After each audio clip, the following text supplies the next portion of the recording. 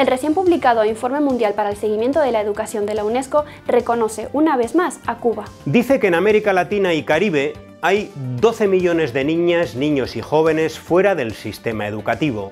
En contraste, en Cuba, incluso en la educación preescolar, la cobertura es del 100%. El informe reconoce el programa cubano Educa a tu hijo, por sus aportes en contextos rurales y en apoyo a menores con disfuncionalidades. Y el programa de educación sexual de la isla, por su enfoque de prevención y su apuesta por los derechos sexuales. El artículo 73 de la Constitución Socialista de Cuba precisa que la educación es responsabilidad del Estado, que debe garantizar servicios gratuitos. ¿Será que la UNESCO se ha vuelto socialista?